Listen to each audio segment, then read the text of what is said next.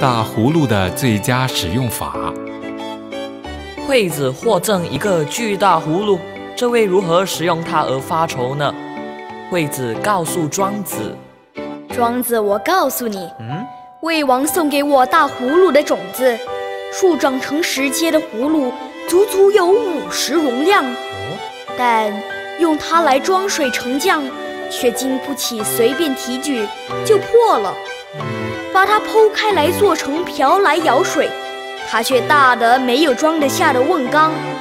这葫芦实在是大而无当，我看。”就把它砸掉吧！哎呀，你呀实在太不聪明了。你知道吗？宋国有人世代都靠漂洗思绪为职业，擅长调制防止手部皲裂的药物。有个人听到这个消息，就要求用百两黄金来购买药方。这个宋国人聚集全家人一起商量：我们世世代代以漂洗思绪为生，不过只能赚了一点钱。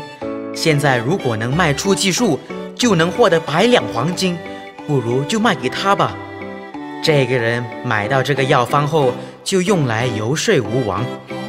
那时越国举兵侵犯吴国，吴王便派这个人率军队迎战。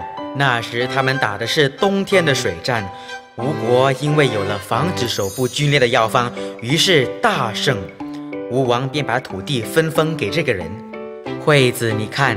这个能防止手部皲裂的药方，有人可以靠它获得封地，有人却还是不能从喜思的命运中挣脱出来。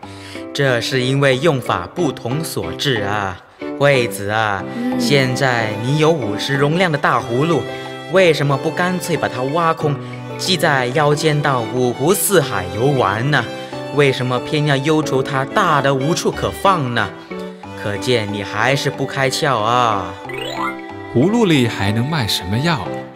很多时候我们都是死脑筋。我们与其放大事物的不能，倒不如想想它的能。今时今日，葫芦还有其他的用法吗？